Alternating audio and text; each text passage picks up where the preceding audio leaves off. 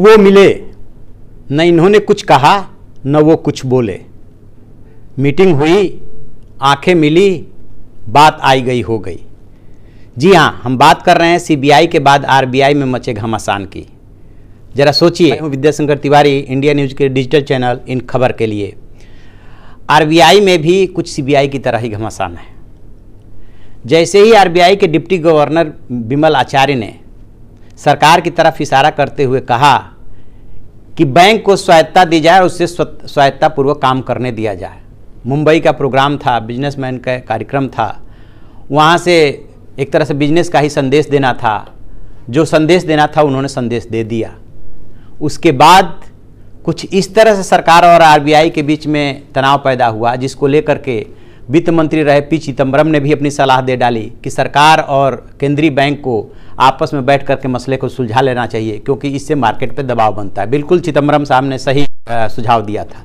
जानते हैं मसला क्या है? क्यों आखिरकार ये आपस में तनाव पैदा हो रहा है? और सरकार इसको लेकर के दबाव में है? क्योंकि उसे भी इस बात का पता बहुत अच्छी तरह से है कि सीबीआई में जो कुछ भी हुआ, वो नहीं ठीक हुआ। उससे सरकार की इमेज खराब हो रही है। आरबीआई से जो संदेश गया, वो भी ठीक नहीं गया। इस बीच कर्मचारी संगठन भी इस झगड़े में कूद गया है और वो रिज़र्व बैंक के फेवर में आकर के खड़ा हो गया जबकि सामान्य तौर पर जो कर्मचारी संगठन है, वो अपनी मांगों को लेकर के हमेशा आरबीआई के खिलाफ ही आंदोलन करता रहता है। लेकिन इस मसले में वो केंद्रीय केंद्रीय बैंक के फेवर में आ गया है।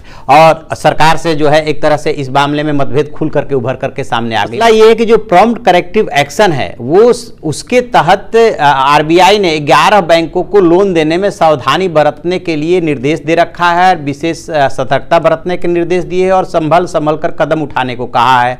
इससे सरकार को ये लग रहा है कि चुनावी साल में यदि बैंकों को लोन देने से रोका गया तो फिर तो उसके सारे चुनावी समीकरण गड़बड़ा जाएँगे। लेकिन आरबीआई को इस बात से मतलब नहीं है कहाँ आपका समीकरण बन रहा है और कहाँ समीकरण बिगड़ रहा है। उसके ऊपर जो एनपीए का दबाव है, बैंकों के ऊपर जो एनपीए का दबाव है, और ये जो है गाइडलाइंस जारी करता है आरबीआई तो कहीं ना कहीं आरबीआई की भी ज़िम्मेदारी बनती है। पिछले दिनों उसने इसी बात को लेकर के अपना जो इंडिपेंडेंट डायरेक्टर होता है, उसको हटाने की बात कह दी थी कि इसे हम इसको हटा लेते लेते हैं। तो दरअसल दोनों के बीच में जो भी मतभेद है, वो नीतिगत चीज़ों को लेकर के है कि आरबीआई चाहता है कि जो बैंकों का कंट्रोलिंग है, उसको कंट्रोल करने के लिए उसे और ज़्यादा स्वायत्ता और अधिकार दिए जाए। और जबकि सरकार जो है इस बात के लिए अपने को पूरी तरह से तैयार इसलिए नहीं पाते कि बहुत सारे जब आप सरकार में होते हैं, सत्ता में होते हैं तो आपको बहुत सारी ऐसी योजनाएँ चलानी पड़ती है जिससे कि आप पॉपुलर हों, लोगों तक उसका लाभ पहुँचे और उसका आपको सियासी फ़ायदा हो। लेकिन बैंक जो होता है, जो आरबीआई है, वो ये सब चीज़ें नहीं देखता है। इसी वजह से ये मतभेद उपजे हैं और खास बात यह कि इसी सरकार ने रघुराम राजन को एक तरह से हटा करके उन्होंने छोड़ा था, लेकिन संदेश ये गया था कि शायद सरकार उनको नहीं चाहती है और उर्जित पटेल को लेकर के आई थी। और उर्जित पटेल के आने के बावजूद यदि उन्हीं से मतभेद उभर गए हैं, ठीक उसी तरह से जैसे कि सीबीआई के डायरेक्टर की नियुक्ति डायरेक्टर आलोक वर्मा की नियुक्ति इसी सरकार ने की थी। सरकार से मतलब तीन सदस्यीय कमेटी में की, ने की थी, जिसमें प्रधानमंत्री भी होते हैं, सीजीआई होते हैं और विपक्ष का नेता होता है।